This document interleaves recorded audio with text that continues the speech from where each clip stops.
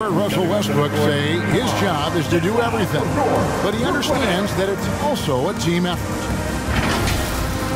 We got to do it together, and uh, I think that's more important than scoring any points or doing anything else is, is leadership, and uh, that's where I got to find my my niche and uh, try to lead the guys.